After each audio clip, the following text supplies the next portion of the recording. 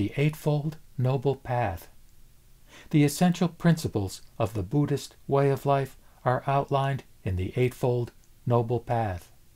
The Buddha himself described the path as the means of overcoming suffering in life. The stories in this collection are based around these principles. Each one highlights ways to help your child understand each principle's meaning and truth. The eight principles can be grouped together in three main subjects wisdom, ethics, and concentration. Wisdom. The great wisdom of the Buddha's ideas is symbolized in Tibetan Buddhism by an endless knot. His eternal wisdom, like the knot, has no beginning or end. Under the grouping of wisdom, we find two principles of the path right view and right intention. Right view centers on developing a deep understanding of the Four Noble Truths. There are two important aspects of right view you can help your child to explore. Firstly, how everyone in the world experiences suffering.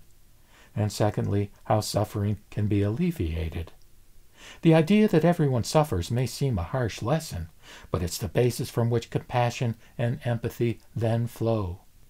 Right intention helps us understand the importance of discipline and determination on the path to self improvement.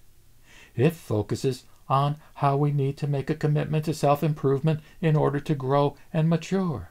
Ethics. The principles of the path we find under this grouping include right speech, right action, and right livelihood. Right speech involves thinking about the impact of our speech on others. At a basic level, this involves not lying and not speaking harshly or unkindly. And these are ideas most parents already work on with their children. At a deeper level, right speech asks us to speak thoughtfully rather than thoughtlessly. Right action asks us to behave morally and ethically with everyone we encounter in our daily lives. We must not harm others or steal from them.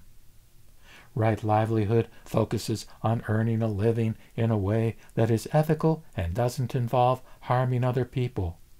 Children can be encouraged to think about the path that might inspire them in later life. Concentration. The final three principles are right mindfulness, right effort, and right concentration. Right mindfulness asks us to give our full attention to the present moment, simply observing what arises without judgment. It asks us to develop our concentration so that our mind can rise above the pettiness and distractions of daily life and learn true awareness. Right effort and right concentration involve focusing on the thoughts and actions that help us become more enlightened. These include compassion, kindness, and gratitude. Right effort involves the development of self awareness. Right concentration asks us to think about our behavior and actively manage our thoughts so that we avoid thinking negatively about ourselves and others.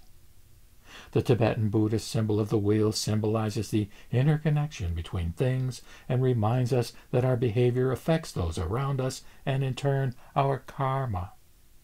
For children, the aim is not to ask them to repress negative thoughts. Rather, the idea is to get children to reflect on the meaning such thoughts might have.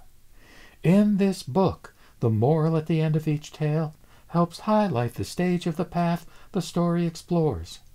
As you read it with your child, you may like to refer back to these pages to consider the implications of that stage of the path and discuss it together.